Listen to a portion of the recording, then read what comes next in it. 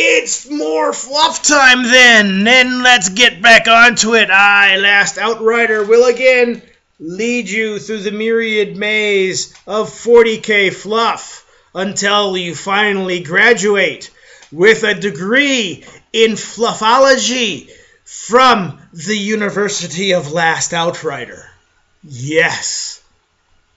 Now, the Space Marines are not the only warriors of the Imperium to carry bolt guns into battle. But the version carried by the Adeptus Astartes, the Mark 5-B Godwyn pattern bolt gun, is by far the largest and most devastating.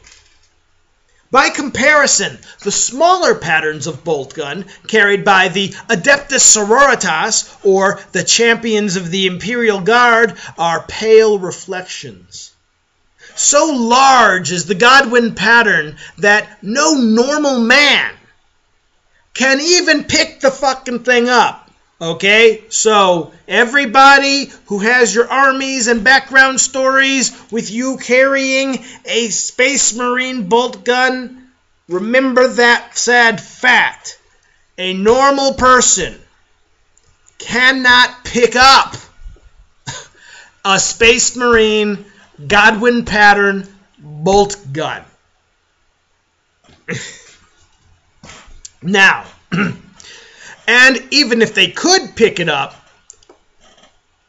could you imagine what would happen to them if they actually fired the thing? I believe you'd get off exactly one shot, and it would probably kill the person just as much as it would kill whoever it's shooting at if they hit. A blessed creation of the Adeptus Mechanicus, the Godwyn pattern bolt gun has served the Space Marines for millennia.